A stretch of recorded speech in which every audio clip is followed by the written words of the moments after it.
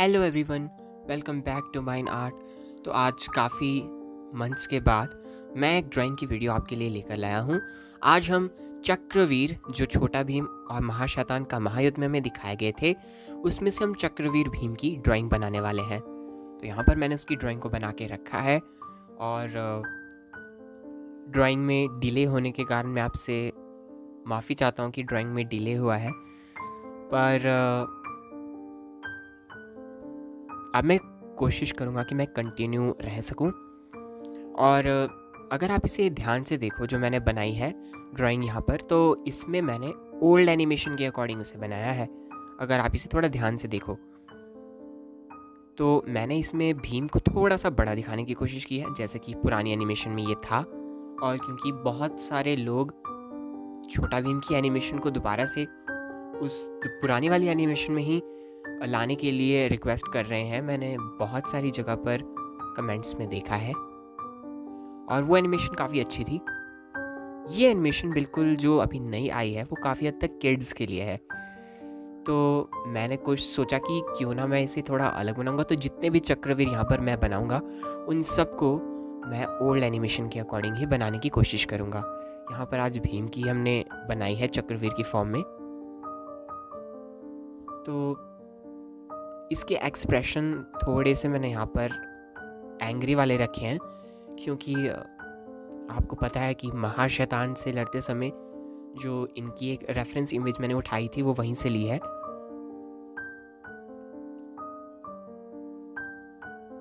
और ये एक्सप्रेशन इसके माउथ का होगा। अंदर आपको इस तरह से छोटा सा दिखाना है, जैसे भीम अपने दांतों को आपस में इतने ज़ोर से प्रेस किया हुआ है।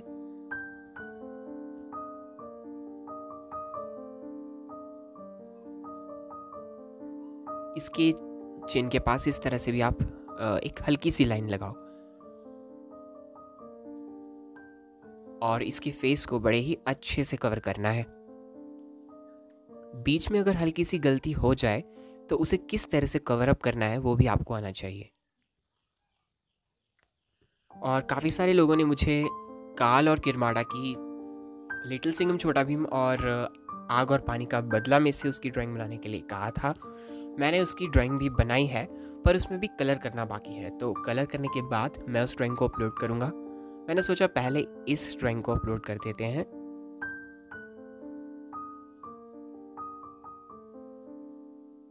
यहाँ से भीम का फेस तो कंप्लीट हो गया। अब इसके हेयर को आप अच्छे से बिल्कुल जैसे हीरोइक फॉर्म में कुछ रखे हुए हैं। अब कंसेप्ट ये है कि भीम अग्नि चक्रवीर है। तो उसके हेयर को भी कुछ ऐसे ही रखा हुआ है।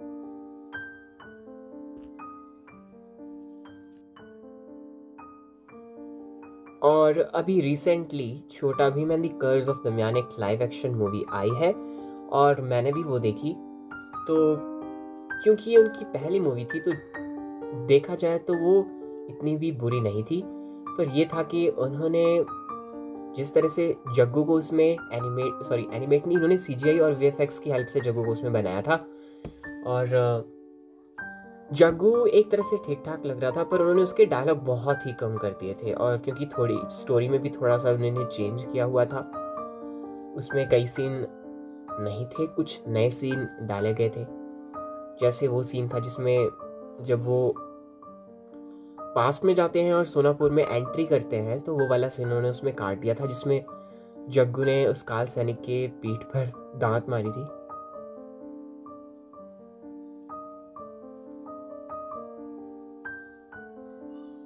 उसमें दमियान की वॉइस भी उन्होंने न्यू ही रखी हुई है। ट्रेलर में पहले लगा था कि वॉइस उसमें ओल्ड ही होगी, पर उन्होंने एक अच्छे वॉइस आर्टिस्ट को उसमें हायर नहीं किया। उन्होंने जो उसमें म्यूज़िक कंपोज़र है आई थिंक उन्होंने उसी को ही उसमें वॉइस देने के लिए कर दिया और उन्होंने शायद उसकी वॉइस को फिर थोड़ा सा चेंज किया। पर जितना मैंने ऑब्ज़र्व किया, उससे मुझे दमियान की वॉइस में बिल्कुल एक्सप्रेशन बिल्कुल ही मिसिंग लग रहे थे। तो और अगर आपने वो मूवी देखी है तो उसके लास्ट में हमें एक न्यू लाइव एक्शन मूवी का एक छोटा सा वो दिखाया है कि कमिंग सून करके। आप मुझे बताना कमेंट्स में, अगर आपने वो मूवी देखी है तो आपको पता होगा कि वो कौन सी नेक्स्ट छोटा भीम की लाइव एक्शन के बारे में है। मुझे कमेंट्स में लिखकर ज़रूर बताएँ। यहाँ पर अग्नि चक्र इसके बिल्कुल चेस्ट के सेंटर में हमने बनाया है। तो इस पर भी डिटेलिंग थोड़ा ध्यान रखें। मैंने यहाँ पर इस पर ज़्यादा डिटेलिंग नहीं की। अभी तक मैंने कितनी बार चक्र बना लिए तो अब मुझे इसे बनाने में थोड़ा अजीब सा लगता है। भीम का ये कवच। इसे भी आपने अच्छे से कंप्लीट करना है। मैंने पहले सोचा था कि मैं एक पूरे शीट में हॉरिजॉन्टली सारे के सारे चक्रवीरों को बनाऊँगा, पर क्योंकि अगर मैं इसे इस साइज़ के हिसाब से बनाऊँ, जैसे मैंने भीम का रखा है तो वो सारे के सारे उसमें अड़ नहीं पाएँगे। तो मैंने सोचा अलग अलग इन्हें बनाना ठीक रहेगा। तो मैंने भीम को भी बनाया है। और इसके बाद मे बी मैं राजू वाले चक्रवीर फॉर्म को ला सकता हूँ। तो ये आग की लपटों की तरह यहाँ पर इसके वेस्ट के पास रखा है मैंने।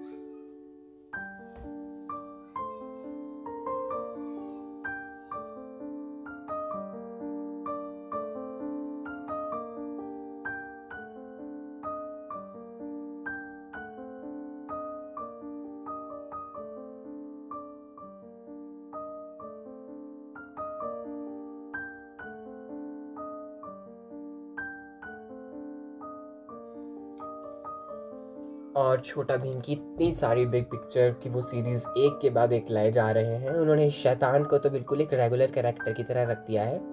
मायांद्री किरमाडा, ये सब अब रेगुलर कैरेक्टर बन गए हैं।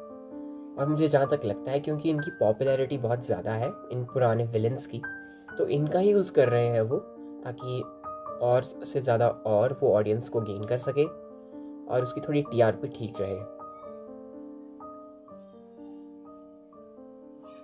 पर एक जल्दबाजी में वो स्टोरी को थोड़ा सा भूल जाते हैं। वैसे अगर देखा जाए तो हाल फ़िलहाल में उनकी स्टोरी में थोड़ा सा तो इम्प्रूवमेंट आया है, पर अभी भी उसमें बहुत सारी गलतियाँ हैं। अगर वो उस पर ध्यान नहीं देंगे तो सिर्फ़ बच्चों वाली ऑडियंस उनके पास रहेगी, जो थोड़े मेच्योर लोग भी हैं, जो छोटा भीम देखते हैं, फिर वो तो बिल्कुल ही उसे देखना बंद कर देंगे। और इसकी वॉइस आर्टिस्ट पे आपने देखा है कि वो भी चेंज हो रहे हैं। और हाँ मैंने वॉइस आर्टिस्ट पे भी एक वीडियो बनाया था छोटा भीम पे। अगर आपने वो नहीं देखी है तो आप उसे देख लेना, मेरे चैनल पे ही है। मैं उसका सेकंड पार्ट लाने की ज़रूर कोशिश करूँगा। उसमें मैंने जितनी भी बची हुई वॉइस थी छोटा भीम की, उनके बारे में मैं आपको बताऊँगा। खासकर उसके विलन्स की वॉइस वो बहुत ही ज़्यादा फ़ेमस हैं। और आपने देखा होगा कि पुराने जो विलन्स थे, उनकी सबकी वॉइस कितनी अच्छी थी। आजकल उन सब विलन्स की ऑलमोस्ट सबकी वॉइस चेंज हो गई हैं।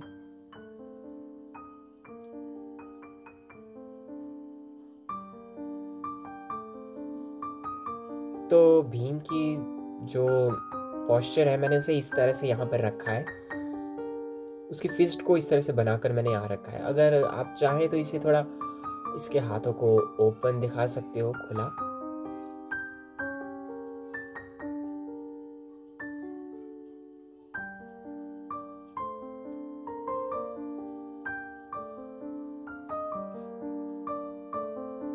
ये इसके दोनों आर्म्स और इसके हैंड कंप्लीट हो गए गॉन्टलेट्स के साथ। और यहाँ पर इसके हेयर का एक छोटा सा पार्ट यहाँ पे रह गया है, इसे भी हम आगे थोड़ा एक्सटेंड कर देते हैं। वेस्ट के पास एक छोटी सी बेल्ट है और फाइनली इसके लेग्स हैं। इसके लेग्स पर, उन्होंने क्रैक्स जैसे बनाए हुए हैं, हल्के से।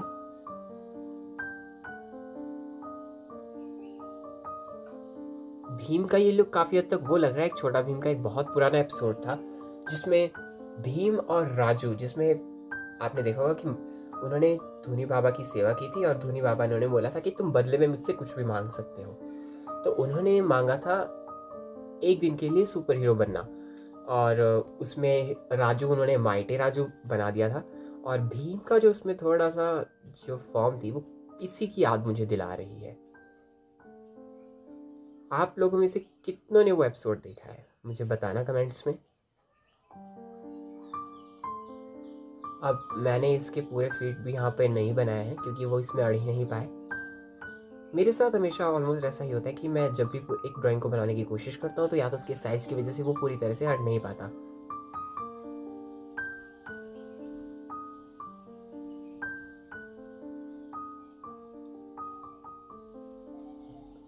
पर अब सिर्फ़ शूज़ ही इसके बचे हैं तो शूज़ आप खुद भी देखकर बना सकते हो आसानी से। उसमें बनाने में इतनी मुश्किल आपको नहीं आने वाली।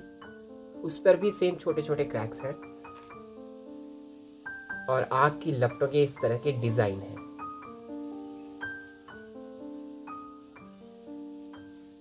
और जिग जैगी कुछ क्रैक्स यहाँ पर इसके थाइस के आसपास हमने बनाई है।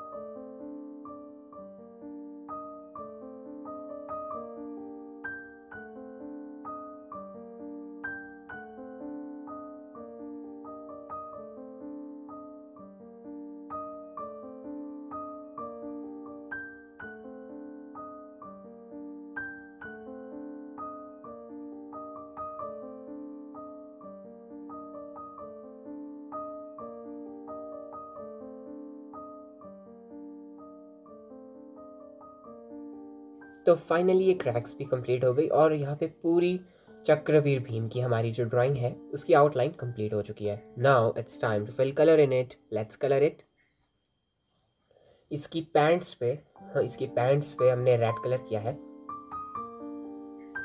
और एक हल्की रेड कलरेशन इसके हेयर के आसपास, जो इसको थोड़ा शाइन करता हुआ लुक दे रहे हैं। और मैंने यहाँ पर थोड़ा हल्के ब्राउन कलर का यूज़ किया है। आप और ज़्यादा अच्छे डार्क कलर का यूज़ करोगे इसके हेयर पे तो और अच्छा लगेगा।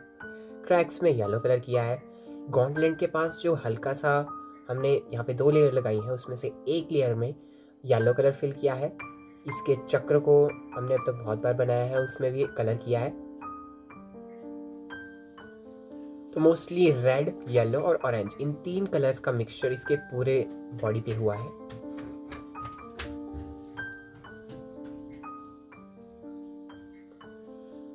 यहाँ पर थोड़ा सा ऑरेंज कलर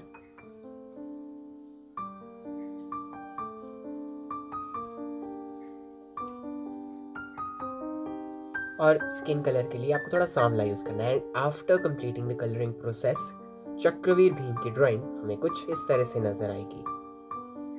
तो मैंने इसमें हल्का हल्का शेडो दिखाने के लिए इसके आर्म्स के आसपास थोड़ा थोड़ा डार्क ब्राउन से किया है कलर तो आई होप आपको चक्रवीर भीम की ड्राइंग पसंद आई होगी। आपको कैसे लगी हमें कमेंट्स में बताएँ। पसंद आई तो इसे लाइक करना ना भूलें। चैनल पर नए हैं तो सब्सक्राइब करें और बेल आइकन ज़रूर दबाएँ। तो मिलते हैं जल्द एक और नई ड्राइंग के साथ। तब तक के लिए take care and goodbye मेरी और भी सारी ड्राइंग्स को देखते रहें। Thank you for watching